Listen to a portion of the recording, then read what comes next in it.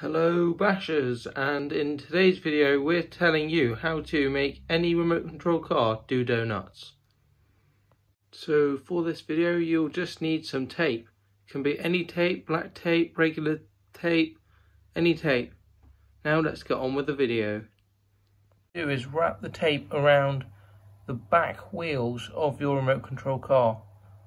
So this has not been cleaned yet since I last took it out but you just want to wrap it around back wheels of your car and then that's all you need to do.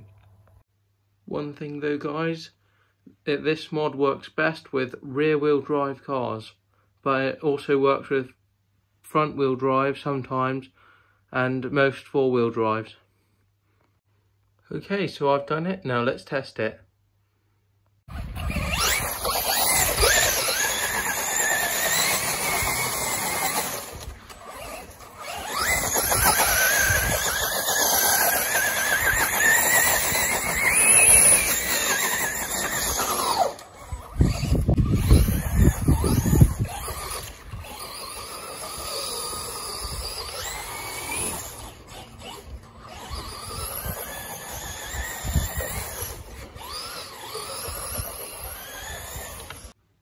So, bashers, that's it for this video.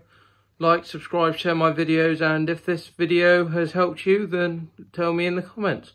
Bye.